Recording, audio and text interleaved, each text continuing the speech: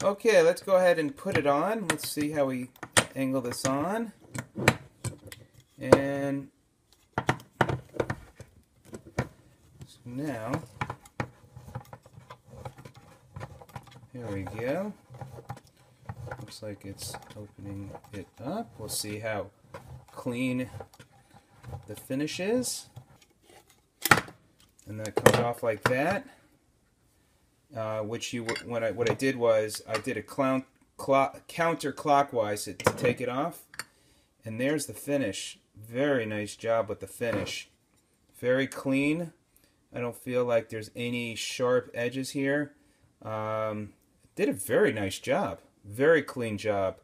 Um, I'm impressed with uh, what it did. It very easy. Went on easy.